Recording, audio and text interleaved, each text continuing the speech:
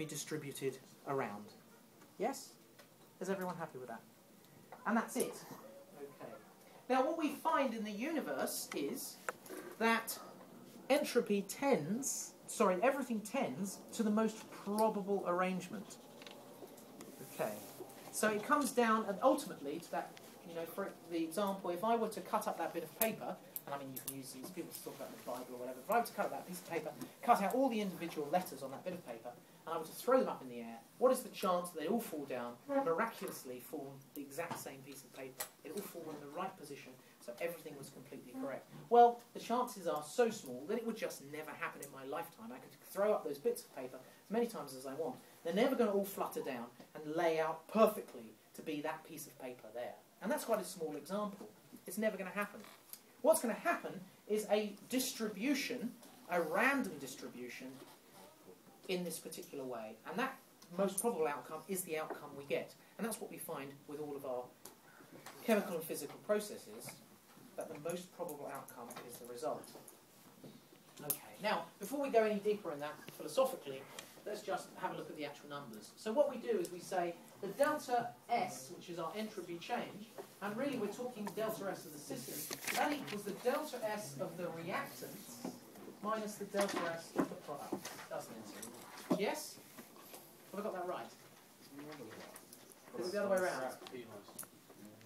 Hang on, all we need to think... Yeah. Oh, by the way, I never, I never remember any of these rules. I always kind of do it by, um, do it by first principles. So I say, hang on a minute. If the entropy of the system, if the entropy of the reactants is reactants this side for you, uh, entropy of the reactants is greater than the entropy of the products, yes, then it's going to be a negative delta S change. So I kind of always do it like that. But what's the equation? Products minus reactants. Products minus reactants.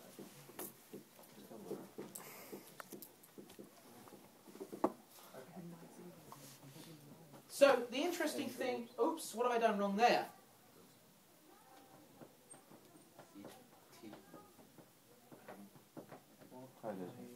The interesting thing, of course, is that the difference, one of the differences between entropy and enthalpy is that we cannot measure absolute enthalpies. We can only measure enthalpy changes. But the interesting thing with entropy is that we can, because we can do complex uh, mathematical uh, equations to calculate. Don't, don't ask me how they do it.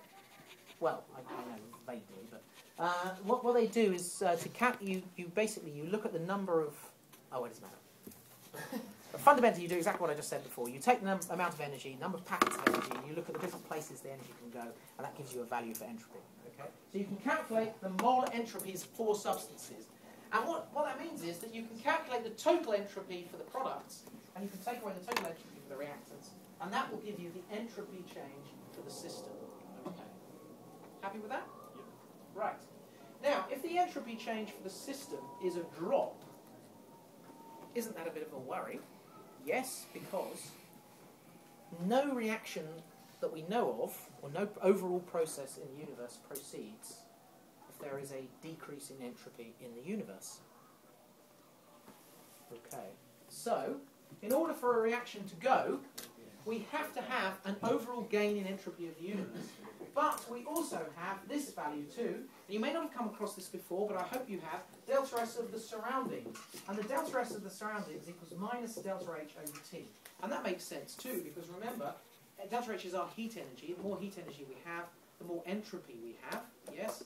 And so delta H would be negative. So if we have a negative, negative makes a positive. If that's exothermic, exothermic means we'll have an increase in entropy of the surroundings. And the entropy change of the universe, or total entropy change, sometimes you'll see that just written as total. The total entropy change equals the delta S of the system plus the delta S of the surroundings. Okay, and that's it. Alright?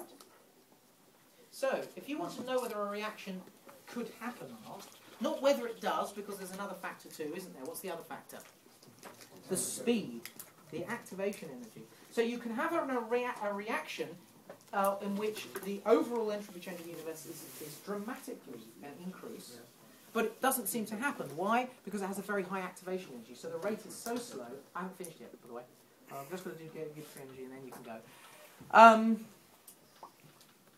ah, you're going, aren't?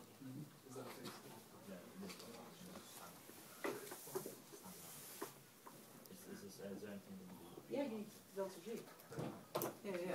Guys, I'll only be literally about another three minutes, okay? Three minutes. Um, so, where are we? Uh, don't forget, sorry, these are still very important points. They love to ask about this. You know, you might say, you might find that Gibbs free energy is negative. We'll talk about that in just two seconds. But you might find the Gibbs free energy is negative, which of course means that the total entropy change is positive. But the reaction still doesn't go. And the answer is because the activation is very high, rate of reaction is so slow that effectively it doesn't happen. Okay, so that's quite important too. But this, this, this, these values tell you whether it can happen or not.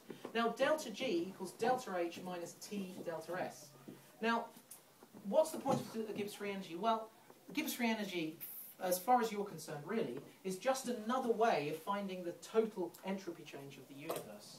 Or alternatively, depending on how your subject teacher has, your particular chemistry teacher has taught it, you may have been taught this and not taught this. Has anyone not been taught this? Oh, you have? Okay, fine. The only reason I'm saying that is because they don't ask you, I don't know if you've noticed in any of your uh, IB questions, but they don't actually ever ask you to find the total entropy change. They only ever ask you to find the Gibbs free energy. But the Gibbs free energy is actually the same thing. It's, if, you, if you look at it, it's finding the same thing. And if the Gibbs free energy is negative, if that equals a negative value, then it means that the reaction is spontaneous. And uh, delta G being negative is the same as having a positive total entropy change of the universe. So why do people use Gibbs free energy and not do this? Well, the answer is because the answer is, I suppose, because you've got delta H of the system and delta S of the system here.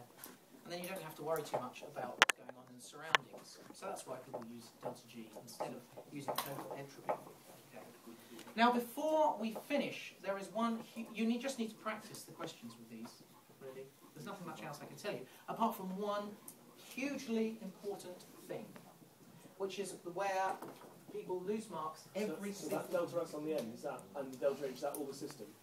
Yes, this is all the system. Delta H of the system, delta S of the system. And that's why in an IB, this is important. This isn't the really important thing, but this is important. In an IB exam, whenever they talk about delta S, they are always talking about delta S of the system. When they talk about delta H, they are always talking about delta H of the system. Okay?